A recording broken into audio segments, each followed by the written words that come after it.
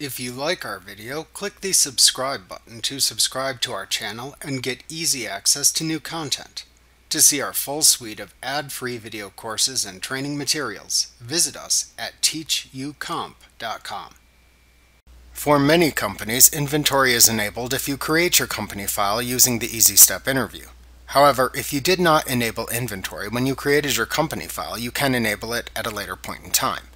You can enable inventory within your company file and view the default inventory preferences by selecting Edit, Preferences from the menu bar.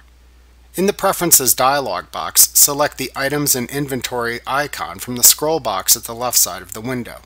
To the right, click the Company Preferences tab and make sure the Inventory and Purchase Orders are Active checkbox is checked. Doing this enables inventory-related features in your QuickBooks company file. Then set any additional default settings needed for inventory and items. Click the OK button to set your default inventory preferences.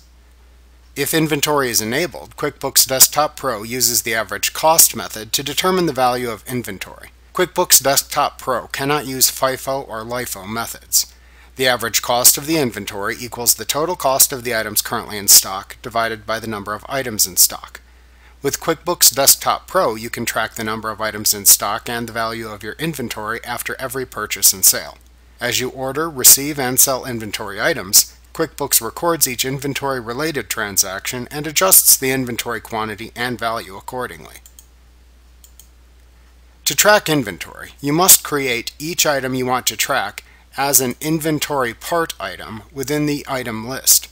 QuickBooks tracks the quantity and value as you sell or reorder items only for inventory part items within the item list.